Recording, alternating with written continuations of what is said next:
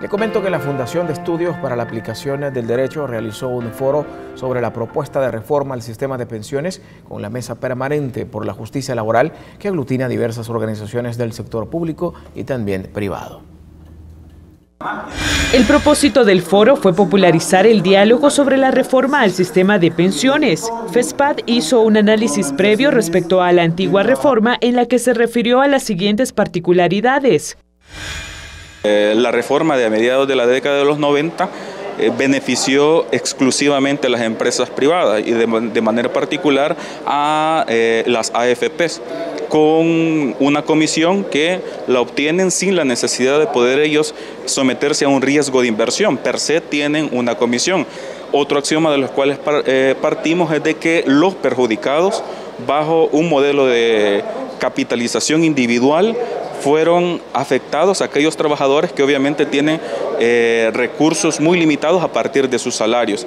Estos trabajadores fueron afectados que son la gran mayoría de la población salvadoreña. La postura de FESPAD ante la propuesta es que es una reforma al sistema previsional necesaria.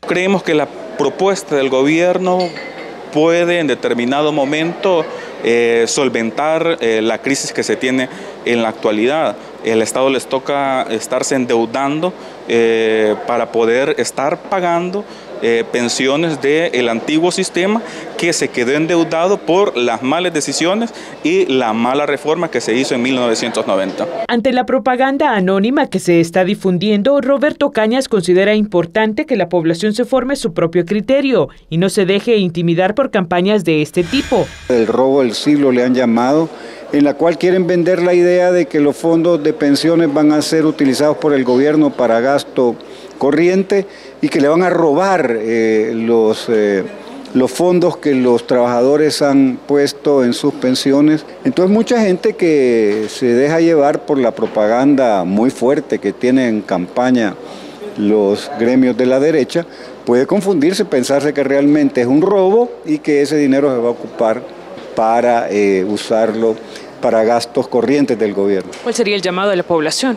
Bueno, que deje la apatía, que deje la indiferencia, que se integre, que trate de informarse, de formarse su propia opinión. Ese es el objetivo. Que al no conocer bien un documento, uno puede especular tal vez cosas que no son y pensar que no es algo que, que vaya como a beneficiar realmente a la clase trabajadora en sí. Algunos de los participantes consideran necesario fortalecer la socialización de la propuesta con diferentes sectores para dar respuesta a muchas inquietudes que se puedan generar cómo va a funcionar cuando una persona se retire, cómo va a ser eso, cómo se va a manejar, a dónde van a ir a cobrar primero y luego cuando se le termine, el dinero, qué es lo que va a pasar con, con, el resto, si la persona logra vivir más tiempo. Entonces esa es una preocupación. ¿Cómo va a funcionar eso? Es que la incertidumbre va en ese sentido.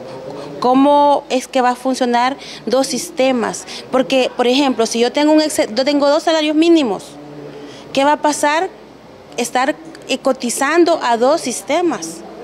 Entonces la preocupación principalmente en lo personal va en ese sentido. El economista César Villalona ejemplificó el funcionamiento de un sistema mixto de pensiones, el cual destaca que tendría un impacto positivo en la población. Una persona que gane, digamos, mil dólares, va a recibir una pensión por lo que cotiza en el fondo público, que es hasta 503. De ahí le van a descontar para el fondo público y le sale su pensión. Esta pensión es vitalicia, no se acaba. Le saldría una segunda, que es por lo que cotice sobre 497 dólares, ¿verdad? Esta pensión va a ser más chiquita que la del fondo público y esta se acaba, porque este es un fondo de capitalización privada que las AFP solo lo entregan hasta que termine el fondo capitalizado.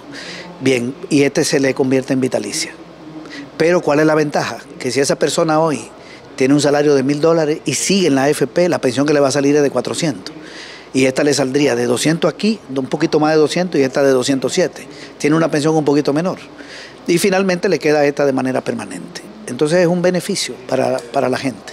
La propuesta del gobierno contempla un sistema de pensiones sostenible y seguro en el que se reducirá la comisión por administración de las AFP para mejorar la rentabilidad de los ahorros de los trabajadores. No se subirá la edad de la jubilación ni el tiempo de cotización, tampoco el monto de las aportaciones mensuales.